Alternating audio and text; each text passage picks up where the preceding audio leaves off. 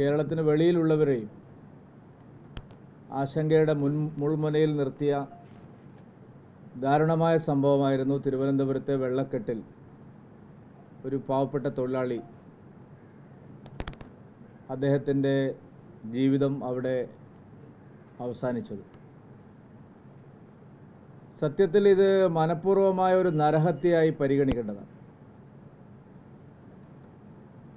അങ്ങേയറ്റത്തെ ഗുരുതരമായ കൃത്യവിലോപവും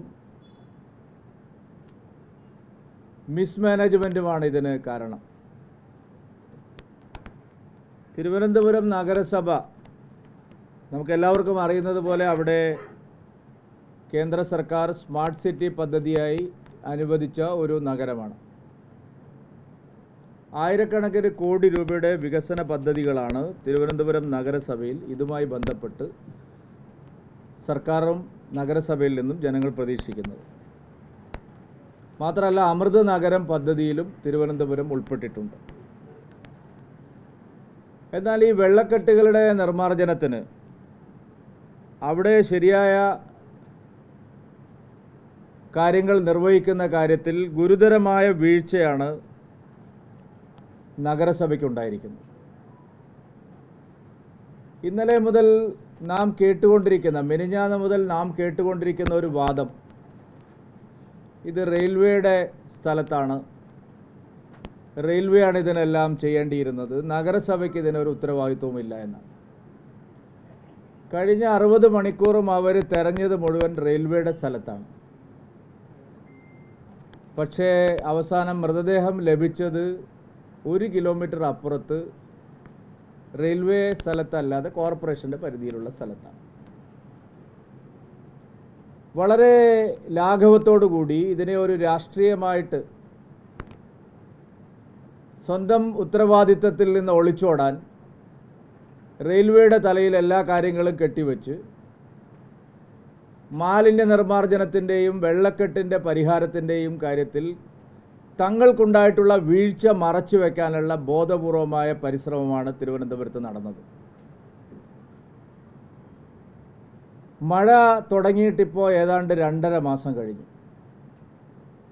ഈ മഴ തുടങ്ങുന്നതിന് മുമ്പ് ചെയ്തു തീർക്കേണ്ടതായിട്ടുള്ള ഒരു ജോലിയും നഗരസഭ അധികൃതരുടെ ഭാഗത്തു നിന്ന് അവിടെ നടന്നിട്ടില്ല. കൃത്യമായ കണക്ക് പറഞ്ഞാൽ രണ്ടായിരത്തി ഇരുപത്തി മൂന്ന് ഇരുപത്തി നാല് കാലയളവിൽ വെള്ളക്കെട്ടുകളുടെ നിർമ്മാർജനത്തിന് വേണ്ടിയിട്ട് ആ പ്രശ്നം പരിഹരിക്കുന്നതിന് വേണ്ടിയിട്ട് അവിടെ എട്ട് പോയിന്റ് പൂജ്യം എട്ട് കോടി രൂപ നീക്കിവെച്ചതാണ്.